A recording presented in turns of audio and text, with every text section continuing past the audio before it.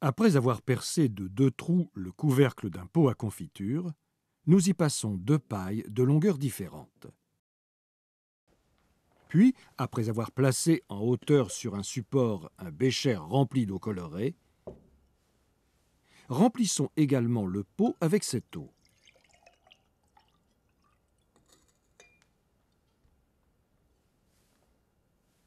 Refermons le pot de façon parfaitement étanche.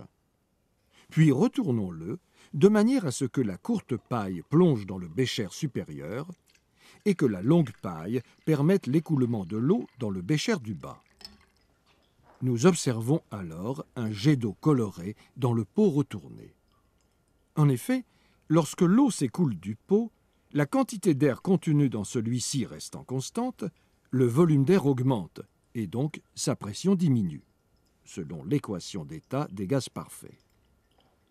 La pression exercée sur la surface de l'eau dans le réservoir supérieur étant égale à la pression atmosphérique, elle pousse l'eau du réservoir dans le pot en donnant naissance à une fontaine.